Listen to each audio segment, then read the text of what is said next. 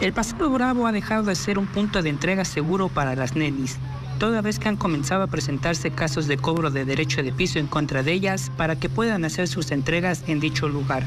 A pesar de ser un espacio público, existen personas que buscan sacar provecho de la alta concurrencia de comerciantes, generando un agobio hacia ellas para que entreguen parte de sus ganancias. Porque luego a veces me toca ir y luego nos, ya nos están pidiendo este, pues que nos retiremos. Entonces sí, sí, sí, hace falta un poco de vigilancia para nosotras porque luego nos están pidiendo dinero o luego nos están, este, nos, ¿cómo se llama? Nos están tomando fotos o luego nos están este, persiguiendo. Debido a ello, es que este tipo de vendedoras han optado por tomar medidas de seguridad, como el ir acompañada de algún familiar que pueda ayudarlas en caso de requerirlo. Siempre procuro que sea en un lugar muy concurrido y este, siempre trato de venir acompañada. Por, por, ejemplo, ahorita viene mi marido conmigo, entonces pues este, como tengo a mi nena, más seguro para mí y para mi hija.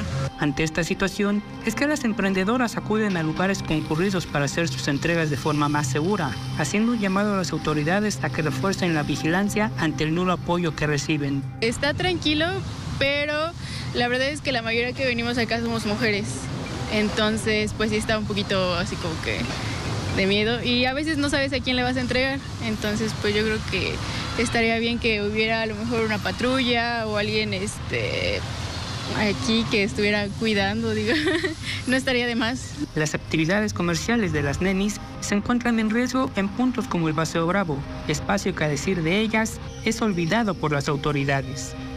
Con imágenes de Javier Vázquez para Telediario Puebla, David Meléndez.